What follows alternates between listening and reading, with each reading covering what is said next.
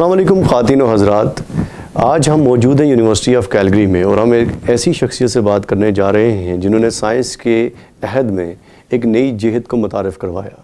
उसने science fiction की movies को साइंस फ़िक्शन से निकाल कर हकीकत की शक्ल दी है और इन्होंने इंसानी दिमाग को ये रोशनास करवाया कि वो मशीनों के साथ गुफ्तु कर सके और मशीनों को समझ सके और उन्हें पैगाम दे सके, बग़ैर गुफ्तु किए या अपनी उंगलियों को जुम्बिश दिए। मेरे साथ मौजूद हैं यूनिवर्सिटी ऑफ़ कैलगरी के प्रोफेसर तमगा इम्तियाज़ जनाब डॉक्टर सैयद नवीद हुसैन साहब।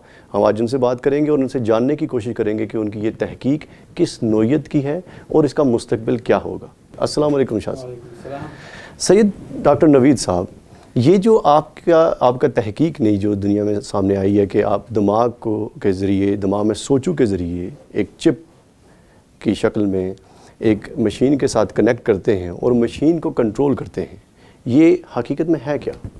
देखिए ब्रेन जो है आपका बहुत ही कॉम्प्लेक्स है जिसमें tens of billions of brain cells हैं। तो हम्म। अगर और ये सेल्स जब एक दूसरे के साथ मिलजुल के um, काम करते हैं तो आपको लर्निंग है मेमोरी है जो ब्रेन के सारे फ़ंक्शंस उनके तालमेल उनकी एक्टिविटी की वजह से होते हैं। तो अगर आपने ब्रेन के फ़ंक्शन को समझना है तो उसके लिए आपके लिए ज़रूरी है कि आप ऐसी टेक्नोलॉजी डेवलप करें जो आप ब्रेन सेल्स के लार्ज नेटवर्क्स को रिकॉर्ड करने की आपको सलाहियत दे दें जो आज तक नहीं हो सका। मेरे पास गिनीज बुक ऑफ़ रिकॉर्ड था जिसमें 12 सेल्स को मैं रिकॉर्ड करता था अपनी पीएचडी के दौरान। लेकिन 12 सेल से आपको दिमाग के फ़ंक्शन समझ में नहीं आएँगे। तो हमने कोशिश ये की कि ऐसी चिप डेवलप की जाए कि जिससे हम hundred and thousands of brain cells की एक्टिविटी को हम रिकॉर्ड कर लें। जब उनकी एक्टिविटी को हम रिकॉर्ड कर लेंगे तो उनकी जो आपस में फंक्शनिंग है, उसको हम समझ सकते हैं। जब उनकी फंक्शनिंग को समझ सकते हैं तो फिर हम डिसफंक्शनिंग का भी कोई इलाज ढूंढ सकते हैं उसी तरीके से। तो एक तो ये है कि ब्रेन के फ़ंक्शन को समझने के लिए आपको ऐसे आलात ऐसी टेक्नोलॉजी डेवलप करनी है, जो ब्रेन के लार्ज नेटवर्क्स को रिकॉर्ड कर सके। तो ये तो पहला हमारा दूसरा ये है कि अगर ब्रेन डैमेज हो जाता है स्ट्रोक है ट्रामा है इंजरी है पार्किंसन राशि की बीमारी है अल्जाइमर ये हैं तो इनका कोई इलाज नहीं है। तो अगर आप ऐसी कंप्यूटर चिप जिसको आप प्रोग्राम करके ब्रेन में इंटीग्रेट करते हैं तो आप उस लॉस फ़ंक्शन को रिगेन कर सकते हैं या रिकवर कर सकते हैं। अच्छा जब ये हम कहते हैं कि हम ब्रेन के मुख्तलिफ़ जो रिएक्शंस हैं उनको हम रिकॉर्ड करते हैं। इससे क्या मराद है? क्या ब्रेन के अंदर होने वाले कोई केमियाई अमल को रिकॉर्ड करते हैं या उसमें कोई एक इलेक्ट्रिक करंट हो उसको रिकॉर्ड करेंगे आप? देखिए ब्रेन जो है वो um, की कम्युनिकेशन का दार मज़ार एक तो इलेक्ट्रिकल इम्पल्स पे होता है। तो वो बिल्कुल वही इलेक्ट्रिसिटी है जैसे मैं आपके ब्रेन से 25 वोल्ट के कई बल्ब यहाँ पे जला सकता हूँ। तो आपका ब्रेन इतनी इलेक्ट्रिकल इलेक्ट्रिसिटी जनरेट करता है। तो ये इलेक्ट्रिकल इम्पल्सेस हैं लेकिन जब ये इलेक्ट्रिकल इम्पल्स जो है नर्व पे ट्रैवल करने के बाद अपने एंड पे, जहाँ पे ये किसी मसल से या दूसरे ब्रेन सेल से अटैच होती है तो ये सिग्नल इलेक्ट्रिकल से केमिकल में बदल जाता है तो कैल्शियम आयन जो हैं, ये फ्लक्स फ्लक्स करके टर्मिनल में आते हैं तो जो आपके स्नैप्टिक विजिकल्स हैं, जो केमिकल से पैक्ड विजिकल्स हैं, ये समझ लीजिए कि गुब्बारे से हैं। जो फिर ये फ्यूज़ होकर अपने केमिकल्स को रिलीज़ करते हैं।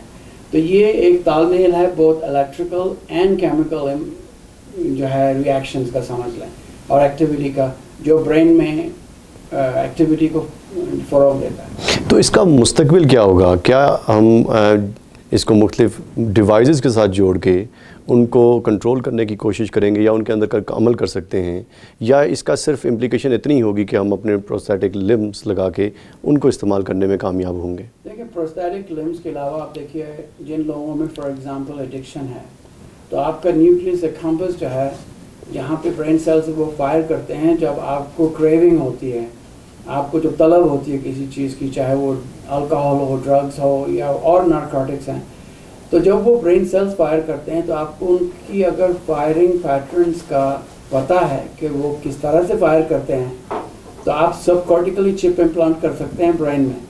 तो वो चिप आपके सेल फ़ोन की तरह सोती रहेगी, लेकिन उस वक्त जागेगी जब उसका नंबर डायल होगा। वो नंबर वही है जो आपने उसको प्रोग्राम किया है, जो उन ब्रेन सेल्स जिनमें ये क्रेविंग की रिफ्लैक्स इनिशिएट हो रही है। तो वो चिप उसी फ्रीक्वेंसी को लॉक कर लेती है और कहेगी कि इट्स ओके काम डाउन यानी कि इसका मतलब ये है कि हम नफसियाती बीमारियों का इलाज भी इस अमल से कर सकते हैं। या कर सकते हैं और अब हो भी रहा है उसको ट्रांस मैग्नेटिक स्टिमुलेशन कहते हैं जिसमें यह है कि नॉन इन्वेसिवली ब्रेन के उन हिस्सों को जहाँ पे हम समझते हैं कि ये डिस्टर्बेंस है उनको एक्टिवेट या डीएक्टिवेट कर सकते हैं। जिसकी वजह से आप उस ब्रेन फ़ंक्शंस को आप स्टॉप कर सकते हैं कुछ स्किज़ोफ्रेनिया है पैरानोया है। यहाँ तक कि हमारे यहाँ सर्जन्स की सर्जिकल स्किल्स को इम्प्रूव करने के लिए भी ये अब ट्रांस cranial stimulation इस्तेमाल होने लगे। तो डॉक्टर साहब अब कहना ये चाह रहे हैं कि मोहब्बत अदावत वफा बेरुखी सब बदल जाएँगे उसूल इस साइंस के अंदर? वो तो देखें तारीख में कभी भी नहीं बदले। आ, वो उसूल अपने नहीं बदलते क्योंकि वो लॉज ऑफ़ नेचर्स की तरह से है। लेकिन यह है कि अभी यानी हम इनको खाली हमें एज इंसान ये मोहब्बत है या आप समझ लीजिए एक अदावत है हम्म। ये किस तरह से रेंज डेवलप होती है ब्रेन में ये हमारी अभी तक समझ में नहीं आया हम्म। जो चीज़ आपकी समझ में नहीं आई आप उसको प्रोग्राम नहीं कर सकते तो जब आप प्रोग्राम नहीं कर सकते तो वो चिप कोई भी हो उसका सब्सटीट्यूट नेमल बदल नहीं हो सकता। अच्छा ये भी कहा जाता है डॉक्टर साहब कि चूँकि आप एक मशीन के ज़रिए अपने ब्रेन को के अंदर एक कैमियाई अमल करवा रहे हैं सोच पैदा हो रही है या दोनों एक दूसरे के ऊपर लाजम लजूम काम कर चल रहा है तो मुस्तकबिल में कहते हैं कि ये भी होगा कि मशीनें इंसानों को कंट्रोल करने में कामयाब हो जाएँगी। क्या ये दुरुस्त है? बहुत सी अब theories लोगों की हैं अब बहुत से ऐसे लोग हैं जो पैरानॉइड हैं वो कहते हैं कि अभी मेरा दिमाग किसी के कंट्रोल में है। मैं बेहोश हुआ था किसी ने मेरे दिमाग में चिप लगा दी। लोग ये भी कहते हैं कि जी यूएस गवर्नमेंट है या दूसरे वेस्टर्न ममालिक की गवर्नमेंट्स हैं वो इस किस्म की हरकतें करते हैं। आपको देखिए चिप लगाने की ज़रूरत नहीं आपने अपने यहाँ देख लिया है। तो बगैर चिप के जो बगैर बोतल के जिन फेंकते रहते हैं हम्म। वो भी कंट्रोल्ड हैं लेकिन उसमें कोई डिवाइस नहीं लगा हुआ। तो लेकिन जहनी कैपेबिलिटीज़ और कैपेसिटी जहाँ लामुतनाही है इनको आप उतना पैरालाइज भी कर सकते हैं। जब आप पैरालाइज कर सकते हैं तो आप ब्रेन को ऑलमोस्ट हाईजैक कर सकते हैं। हाइपनेटाइज कर सकते हैं लोग। कुरान ने जब इंसानी दिमाग के ऊपर जहाँ जहाँ गुफ्तगू की और कहा मालिक ने ये कहा कि ये मैंने सबसे एक ऐसी हैरान कन चीज़ बनाई है जिस पर उसे ख़ुद भी फ़ख्र होता है। ये जो इंसानी दिमाग है क्या ये रूह को कंटेन करता है या एक अलग चीज़ और एक अलग बॉक्स है जिसमें तब्दीली वाक़ हो सकती है? देखिए तो बहुत ही फिलोसॉफिकल क्वेश्चन है। आप कुरान में पढ़ें तो कुरान ने लफ्ज़ फवाद इस्तेमाल किया। हम्म, तो सीड ऑफ़ इंटेलेक्ट कुरान ने ब्रेन को नहीं हम्म। दिल को करार दिया हम्म, उसकी वजह यह है कि आपका दिल जो है वो 25 परसेंट ब्लड ब्रेन को देता है जिसके बगैर ब्रेन फ़ंक्शन नहीं कर सकता। एक सेकंड के लिए भी अगर ब्लड सप्लाई बंद कर दे आपका दिल तो ब्रेन आपका यूजलेस है काम नहीं कर सकता। तो सीट ऑफ़ इंटेलेक्ट वो इसलिए कि ये राब्ता है देने के वाले का। रिस्क जो है वो देता है दिमाग को दिल तो उसको अल्लाह ने रिकग्नाइज किया फवाद के नाम से कि जो साइनो एट्रियल नोड है जहाँ पे हार्ट की पहली इम्पल्स जनरेट होती है। और ये कि सीड ऑफ़ इंटेलेक्ट आपका ब्रेन है और इसमें कोई शक नहीं है कि जो ब्रेन की कैपेबिलिटीज़ हैं हम उसको दो या तीन परसेंट भी इस्तेमाल नहीं करते।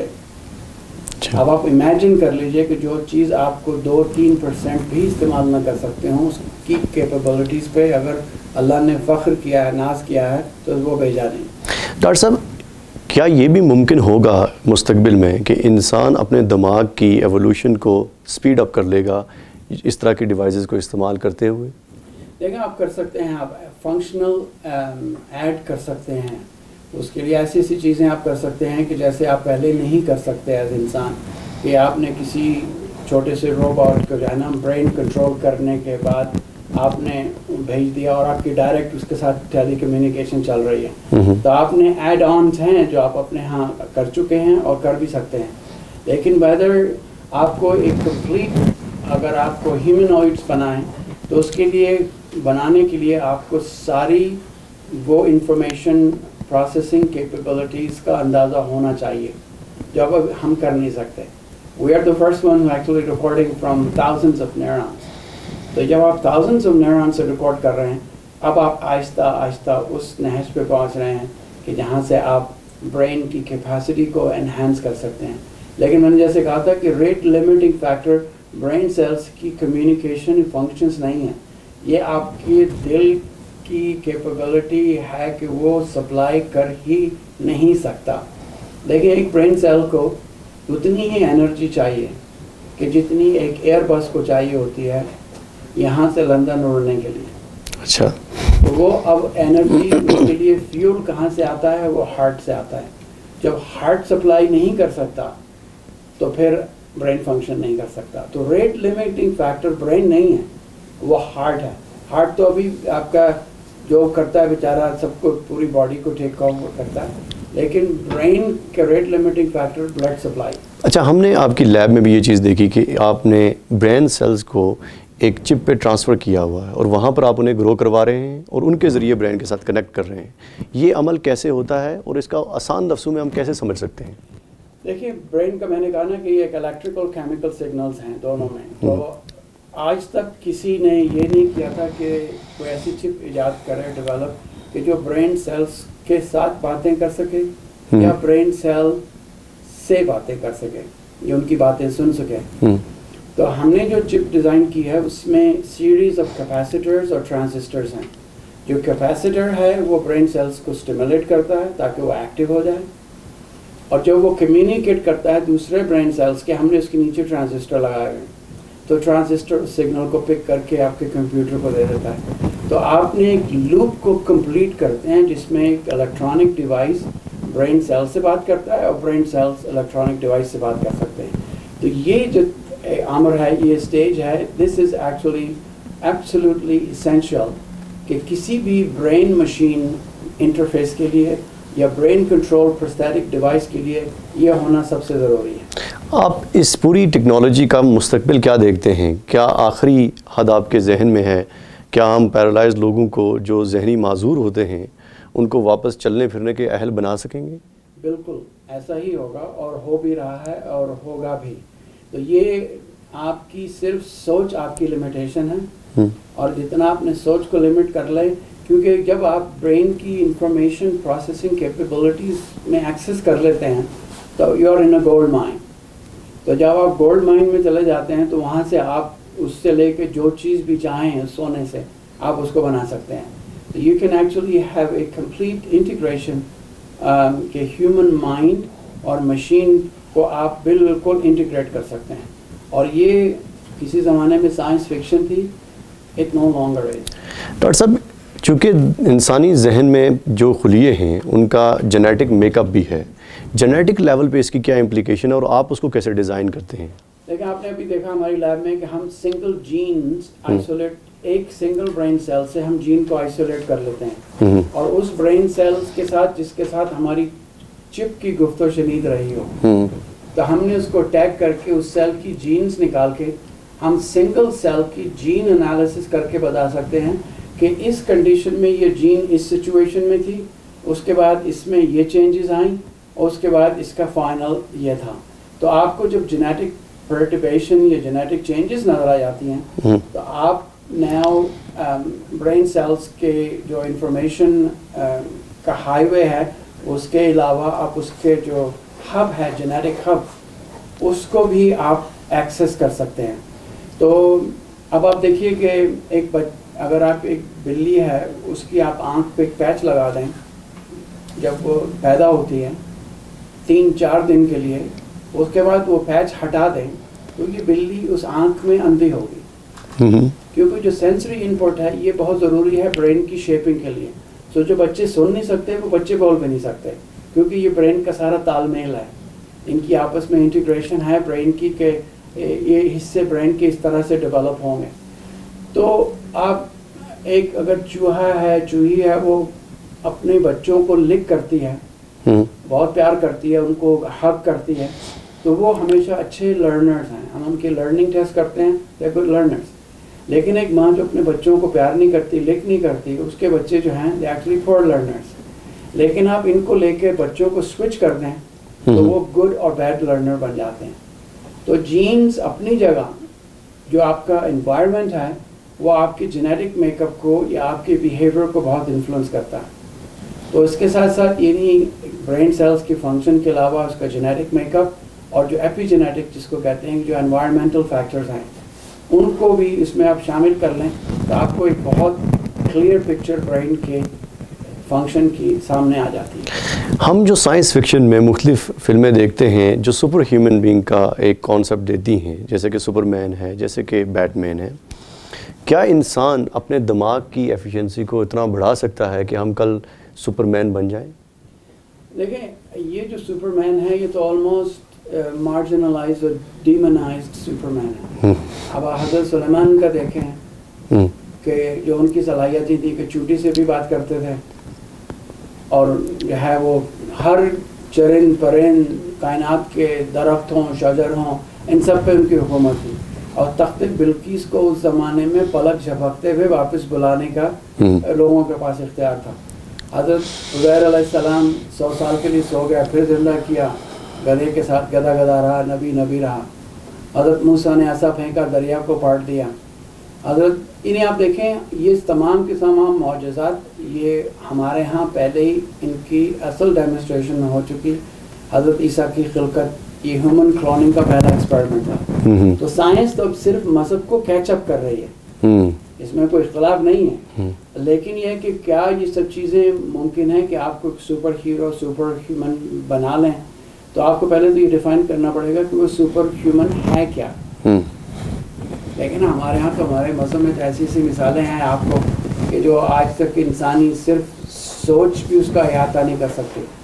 कि जो हमारे यहाँ मज़हब में कुरान में जिनकी आपको मिलती है तो डेफिनेशन सुपरमैन की थोड़ी सी थोड़ी सी धुंधलाई हुई है हाँ कोई ऐसा ह्यूमनाइट हम्म। जो ऐसे ऐसे अमर कर सके अंधेरे में देख सके हम्म। या और दूसरे ऐसी जगह पे जा सके जहाँ ह्यूमन न जा सकें वो तो अब भी जैसे कि ज़ख्म किसी का जल्दी ठीक हो जाए हाँ। रीजनरेशन का प्रोसेस उसका तेज़ कर दिया जाए या उसकी आँखों को ऐसी सलाहियत बख्शी जाए कि वो दूर तक देख सके क्या ऐसा मुमकिन है हाँ नहीं बिल्कुल आप देखिए कि हज़रत याकूब को देख लीजिए कहते हैं कि मुझे यूसुफ की खुशबू आ रही है। 200 किलोमीटर का फासला था। हम्म, तो सुन के सूंघने की सलाहियत हवा से खमसा हमसे कहीं सुपीरियर थे। जब आपने हवा से खमसा को सुपीरियर कर दिया तो ह्यूमंस की कोई लिमिटेशन रहती नहीं है। हम्म, तो अगर साइंटिफिक तरीके से आप ये फाइव सिक्स सेंसेस को आप ब्लेंड करके किसी भी ह्यूमन आइट में या मशीन में या इंसान में आप वो कर दें तो actually have a super human खातिन हजरात, यहाँ पर हम लेते हैं एक ब्रेक और ब्रेक के बाद आके हम डॉक्टर साहब से बात करेंगे कि इस कामयाबी के सफ़र में वो अब तक जहाँ पहुँचे हैं, कैसे पहुँचे हैं? हमारे साथ रहिएगा, हमें यूनिवर्सिटी ऑफ़ कैलगरी में और हम बात कर रहे हैं सैयद डॉक्टर नवीद से।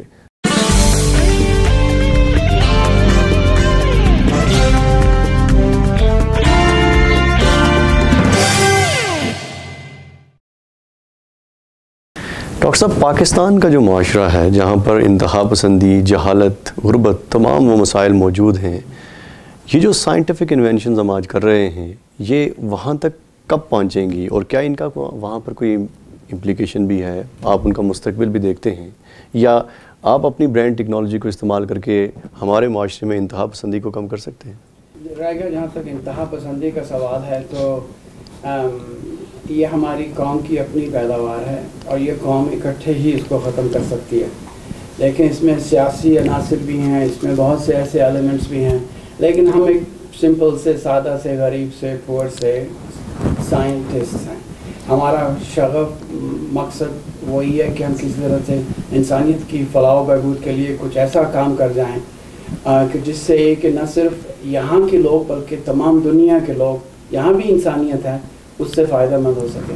अब देखिए, पाकिस्तान को लोग अक्सर काफ़ी डाउन प्ले करते हैं और आपको बता दूँ कि पाकिस्तान जैसी कौम दुनिया में कोई नहीं है, ना वो ज़मीन जैसी कोई ज़मीन है दुनिया में कि जिसमें छः छः फ़सलें साल में होती हैं। हॉलैंड में अगर आप एक साल भी आलू उगा दें तो आप तीन साल आलू नहीं उगा सकते ज़मीन में। ये हमारी ही ज़मीन है कि जिसमें कोई दुनिया की कौम ऐसी रिजिलियंट नहीं है कि जहाँ बम का धमाका हुआ जुमे की नमाज़ में खून है सारे फर्श पे। और, और छतों पे जो है गो, गोश्त के लोथड़े लटक रहे हैं। हम्म, ये कौम उसको साफ़ करके वहीं पे सफ बंद मगरब ईशा की वहीं पे नमाज़ पढ़ती है। दुनिया में कोई ऐसी कौम नहीं है। दुनिया में न ऐसे पहाड़ हैं जैसे हमारे यहाँ। दुनिया में न समंदर है न रेगिस्तान है न लहलहाते खेत हैं। न ही इतने जफाकश और मेहनती लोग हैं। तो आपको पाकिस्तान में रिसेप्टिव कैपेसिटी के लेवल पे कोई प्रॉब्लम नहीं। लोग इतने रिसोर्सफुल इतने इंटेलिजेंट हैं कि मैं यकीन से बता दूँ कि हमारे यहाँ स्टूडेंट्स ऐसे नहीं हैं जो आगा खान यूनिवर्सिटी में मैंने देखे हैं। हम्म। टैलेंट बहुत है। हर चीज़ की पाकिस्तान में आपको की फरावानी है। तो अगर सूर्य रहमान की मैं कहता हूँ कि कोई तफसीर है तो वो पाकिस्तान है। अब रह गया ये मसला कि हमारे यहाँ लोगों के अंदर शूर है इन चीज़ों का बिल्कुल है। मैं लाहौर से कराची फ्लाई कर रहा था तो मेरे साथ ग्यारह साल की बच्ची बैठी हुई थी तो मैं अपनी टॉक प्रिपेयर कर रहा था। तो मुझे देखती रही, कभी कंप्यूटर को देखती थी, कभी मुझे देखती थी। तो थोड़ी देर में वो कहने लगी कि आप वो चिप वाले अंकल हैं। अब आप देखिए कि शूर कितना है वहाँ के बच्चों में और लोगों में कितना यानी वो है। तो इसमें ये नहीं कि लोगों के पास शूर नहीं है, लेकिन हमारे अगर सियासतदान, हमारे एकेडमिक्स हमारे एजुकेशन में जो लोग हैं, अगर वो ये चीज़ को वतीरा बना लें कि हमने पाकिस्तान की बका, पाकिस्तान की सलामती के लिए इल्म और इल्म की फरवानी और नावल टेक्नोलॉजी डेवलपमेंट ज़रूरी है। इसके बगैर आप सर्वाइव नहीं कर सकते। जैसे कि हम ये जानते हैं कि यहाँ पर आपके बहुत से स्टूडेंट्स हैं जो कि पाकिस्तान से भी आप लोगों को इनक्रेज करते हैं कि आपका, आपके प्रोजेक्ट का हिस्सा बने। पाकिस्तान में भी कोई ऐसा प्रोजेक्ट मुस्तबिल में लगाने का इरादा है? देखिए हमारी पूरी कोशिश है इंशाल्लाह कि पाकिस्तान के अंदर भी हम कुछ एक ऐसा एक्सचेंज को माहौल ऐसा क्रिएट हो जाए कि जिसके अंदर हम ये इन चीज़ों को जाके प्रमोट कर सकें, इनको इस्टेब्लिश कर सकें। और हमारी पूरी कोशिश यही होगी कि हम किसी तरह से अपने मादा वतन को रिटर्न जो उसकी इन्वेस्टमेंट थी, उन इन्वेस्टमेंट को हम रिटर्न कर दें। अगर मैं सैयद नवीद के उस दिमाग से ये बात जानने की कोशिश करूँ जो अपने दिमाग के ज़रिए टेक्नोलॉजीज़ को कंट्रोल करना चाहता है कि पाकिस्तान के या मुसलमान माशरे में साइंस की अदम मौजूदगी की क्या बुनियादी वजह है? तो क्या बताएँगे? देखिए एक बहुत ही यानी फलसफाना सवाल है। जब मुसलमान एकेडमिक्स साइंसदान जब फोर फ्रंट पे थे हम्म। तो उनको मसाइल का अंदाज़ा था। तो उन मसाइल को हल करने के लिए वो कोशा रहते थे। जब हम कोशा रहते थे तो मुसलमान हज़ार साल पहले यूरोप से पहले एनाटमी जानते थे। 600 साल पहले यूरोप से कैटरेक्ट सर्जरी कर रहे थे। इनकी अगर आप देखें मदर मेरी की जो पेंटिंग्स हैं हम्म। जो रेनेसांस की पेंटिंग हैं उनमें जो उन्होंने कपड़े पहने हुए हैं उस पर कुरानिक इंस्क्रिप्चर्स हैं। इनके सेंट मुसलमानों के कपड़ों में दफनाए जाते थे।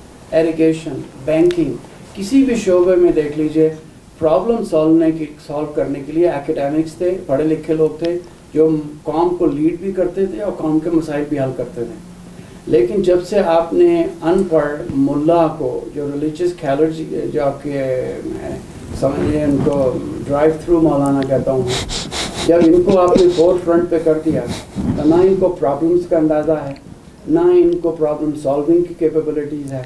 अब एकेडमिक आमतौर पे बुजुल होता है वो पीछे हट गए। तो जब ये पीछे हट गए तो आपके मज़हब को हाईजैक कर लिया। तो इन लोगों ने जो हाईजैक करके जहाज़ जितने मजालिम किए हैं गुना लोगों को मारा है। तो इन्होंने सिर्फ़ जहाज़ ही हाईजैक नहीं किया हमारा मज़हब भी हाईजैक किया हमारे कल्चर को भी हाईजैक किया। और हमसे कोई ये नहीं पूछता कि हमें कितनी इससे अजियत है हमें कितनी तकलीफ़ होती है। पाकिस्तान की मुख्तलिफ़ यूनिवर्सिटीज़ में आप जाते हैं और वहाँ पर जाके आप लेक्चर भी देते हैं। एकेडमिक लेवल पे कुछ कमज़ोरियाँ आपने उनकी निशानदेही की या आपने कुछ देखा? देखें लोग हार हिम्मत हार चुके हैं। हम्म। लोग गिव अप कर चुके हैं। जो यहाँ से पढ़ के भी जाता है वो थोड़ी देर तो हाथ पाँव मारता है। उसके बाद वो कहता है कि यार ये माशरा सीख सुधारने वाला नहीं है। इन जैसे ही बन जाओ। तो वो उन जैसे ही बन जाते हैं। तो आपके यहाँ जो जाते हैं जिनमें थोड़ा सा कोई इनकलाब पैदा करें कोई तहरीक पैदा करें वो भी बेचारे ठुस होके रह जाते हैं। तो उसमें यह है कि अगर आप गवर्नमेंट को यहाँ से चाहिए कि यहाँ से ऐसे लोग जिनकी कोई सियासी कोई सोशल कोई लिंकेजेस ना हो। हम्म।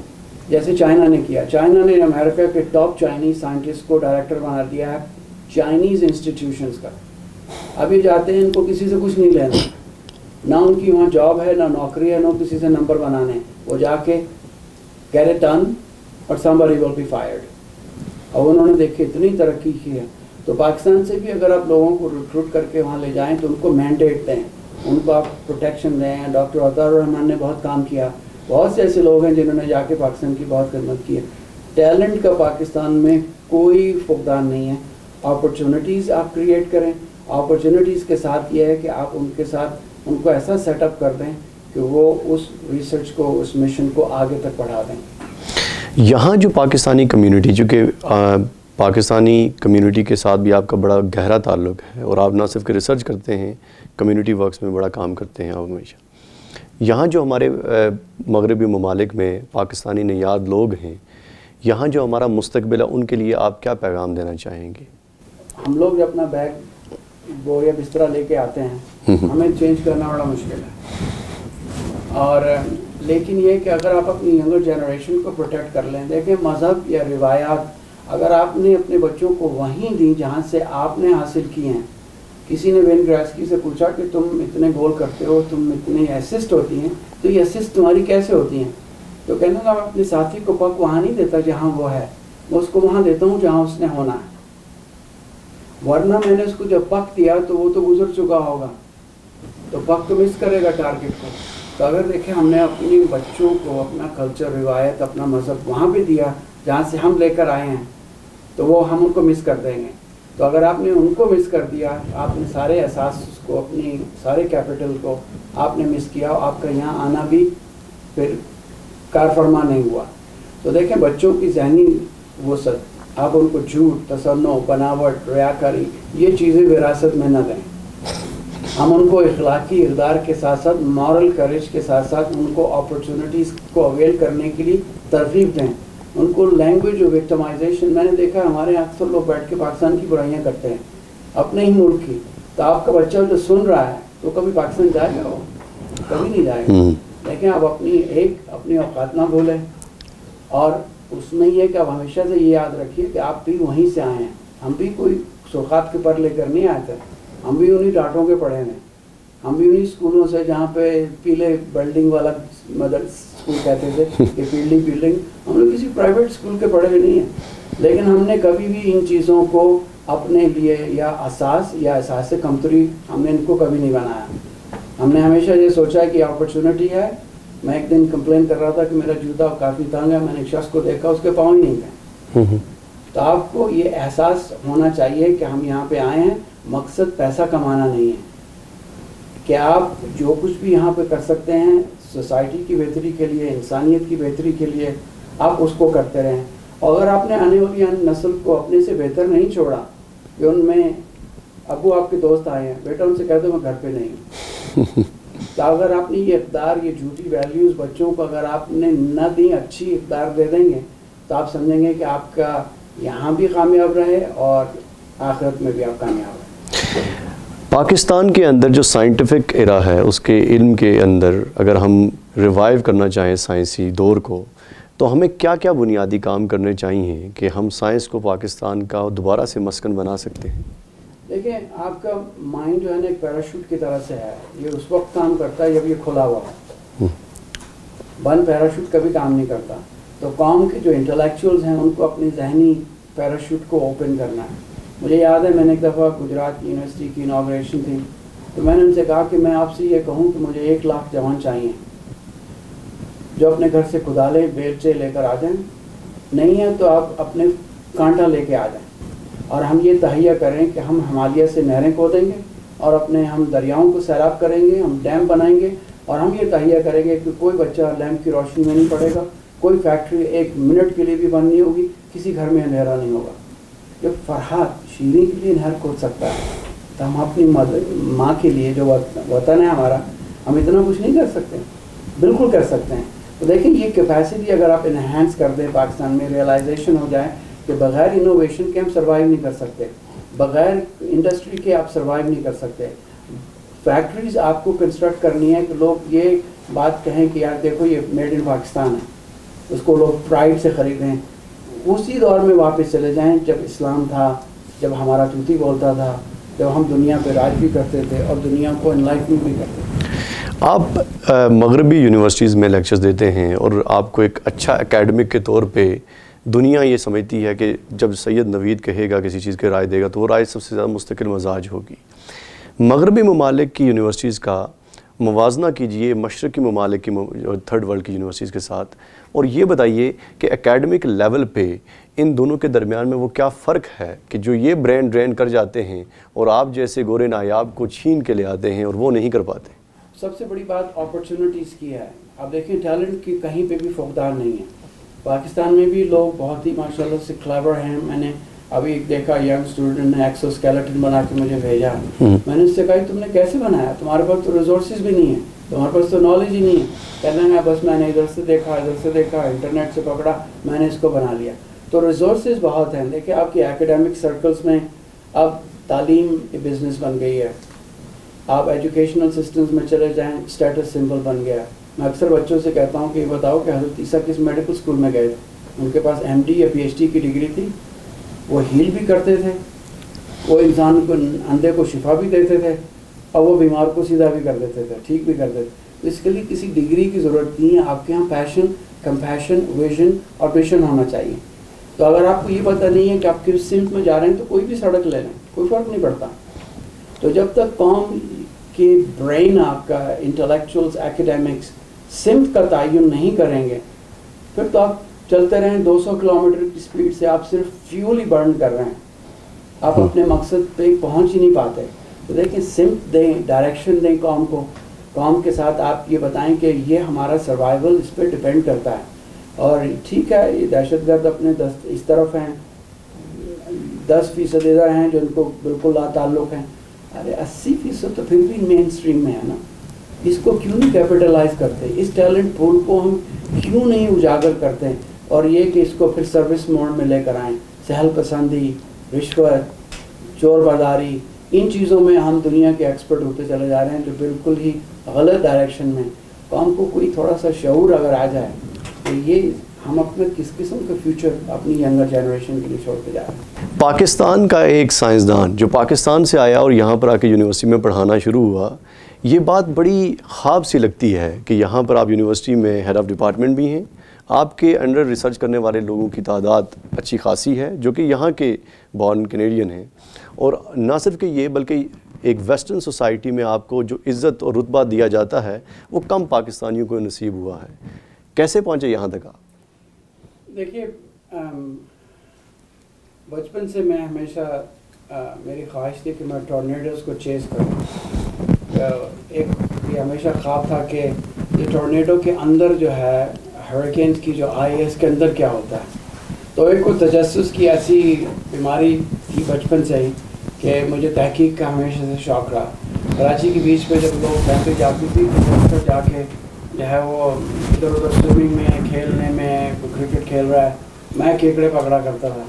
मैं देखा करता था कि बड़ा सा केकड़ा है, जब वो छोटे इसके सामने आते हैं तो यूँ करके खड़ा हो जाता है। तो मैंने ये सोचा कि ये क्यों ऐसा करता है? तो मैंने खामोशी से एक दिन उसका ब्लड निकाल के छोटे से केकड़े में इंजेक्ट किया तो मैंने देखा छोटा सा केकड़ा उस बड़े के साथ जाके ऐसे करके खड़ा हो गया। तो हमने फिर प्योरीफाई किया उसका ब्लड तो वो हमने उसको किंग काउंट फैक्टर का नाम दिया। तो तजस की आपके जो आपके अंदर एक नेचुरल इमेज क्वालिटी है, वो इस चीज़ की पाबंद नहीं है कि आप यहाँ हैं या वहाँ हैं या किस खत्ते में रहते हैं। यहाँ पे अपॉर्चुनिटीज़ जो हैं, आप उनको अवेल कर सकते हैं। आप मौके का फ़ायदा उठा सकते हैं। पाकिस्तान में अनफॉर्चुनेटली नहीं होता। लेकिन इसका मतलब ये नहीं कि पाकिस्तान जैसी जगह पे लोग इंटेलिजेंट नहीं है या उनको काम का शौक़ नहीं है रिसर्च का शौक़ नहीं है। बस अपॉर्चुनिटीज़ नहीं है। तो मैं कराची में जब था मदरसे में मैंने किया मेरे नाना सिंध मदरसे के प्रिंसिपल होते थे, जहाँ कायद अज़म के भी वो उस्ताद थे, नासिर हुसैन साहब। तो उन्होंने हमेशा से ये कहा कि देखो, ये दौलत फैमिली में जो तुम्हारे है, ज़मीनें हैं, ये सब ख़त्म हो जाएँगी। लेकिन एक इल्म एक ऐसी दौलत है कि जो उससे ना कोई तुमसे कुछ छीन सकता है, ना कुछ चुरा सकता है तो उसको खर्च करोगी तो बढ़ेगी। तो इसी इसी को तुम अपनाओ। तो मुझे हमेशा से इल्म से, तालीम से शरफ रहा। डॉक्टर साहब, आप कहा यह जाता है यहाँ कि जो पाकिस्तानी यहाँ पर आके कामयाबी की जीना तय करते हैं, उन्हें बहुत सी मुश्किल का सामना करना पड़ता है। कहा जाता है कि यहाँ के लोग उनको इतना ज़्यादा अप्रिशिएट नहीं करते, उनको उनको जगह मिलनी बड़ी मुश्किल हो जाती है, उनको जगह बनाना उनके लिए एक बड़ा कठिन काम होता है। आप इतना इज़्ज़त और रुतबा इस माशरे में रखते हैं, आपके काम को ना सिर्फ़ फॉलो किया जाता है, बल्कि आपको एक रोल मॉडल भी बनाया जाता है इस सोसाइटी के अंदर। आपको भी वो तमाम मुश्किल पेश आई थी। देखिए यहाँ पे जो सबसे अच्छी बात यह है कि आपको कोई डिस्क्रिमिनेशन नहीं करता। लेकिन करते भी होंगे लोग आपके मुल्क में भी आपको डिस्क्रिमिनेट करते हैं। ये पंजाबी है ये सिंधी है ये बलोची है ये शिया है ये कादियानी है ये ये फलाना है ये डबंका है। डिस्क्रिमिनेशन तो हर जगह होता है लेकिन देखिए लैंग्वेज और विक्टमाइजेशन जो है ये सबसे बड़ा विक्टमाइजर है। आपके पास ये चॉइस है आप कहेंगे कि मैं आज ये हूँ मैंने कल ये होना है। Choice is always yours choice आपकी है। ठीक है मुश्किलें हर जगह होती हैं लेकिन आप किसी को मुरद इल्ज़ाम नहीं ठहरा सकते। आप अपनी तौर पे कोशिश करते रहें जब आप किसी मुल्क के लिए इंसानियत के लिए अच्छा काम करेंगे तो खुद ब खुद आपके लिए रास्ता बनता चला जाता है। हिंड्रेंस तो यहाँ पे भी होती हैं पॉलिटिक्स यहाँ पे भी चलती है। ये नहीं है कि आपको खुला लोगों ने छुट्टी दी हुई है। लेकिन यह कि अगर आप अपनी मकसद में ऑनेस्ट हैं और सिंसेयर हैं तो आपके मराहल मुश्किलें खुद ब खुद हल होती चली जाती हैं। देखें इस मुल्क के अंदर जितनी हमें फ्रीडम जितनी आज़ादी और जितनी हमारे पास अपॉर्चुनिटीज़ हैं, आपके यहाँ पाकिस्तान में नहीं मिलती हैं। और मुल्कों में आपको नहीं मिलेंगी, क्योंकि हमारे यहाँ तासुब भी है, झूठ है, तसन्नो है, बनावट है, रियाकारी है न्यापिटिज़म है। ये अगर बीमारियाँ हम अपने यहाँ से हटा दें तो आप देखिए कि हम इनसे किसी तरह से कम नहीं हैं। लेकिन यहाँ पे मुझे आज तक कभी ऐसा नहीं महसूस हुआ कि किसी ने किसी वजह से डिस्क्रिमिनेट किया हो। मैंने अपने अंदर खुद भी इस जज्बे को कभी उभरने नहीं दिया कि कोई मुझसे डिस्क्रिमिनेट कर सके। बहुत शुक्रिया डॉक्टर साहब। ख़ातिन हजरात डॉक्टर सैयद नवीद मगरबी ममालिक के लिए एक साइंसदान हो सकता है। इनके दिमाग को इस्तेमाल करके मुख्तु मशीनें बनाई जा सकती हैं, मगर हमारे मुल्क और हमारी कौम के लिए ये वो एक हीरो है। जिसके नक्शे कदम पर चलकर हम अपनी खोई मंजिल दोबारा हासिल कर सकते हैं। डॉक्टर सैयद नवीद हमारे लिए वो गोरहाय नायाब हैं, जिनका नक्शे कदम हमारे लिए मंजिल बनेगा। खातिन हजरात, आप सबका बहुत शुक्रिया। असल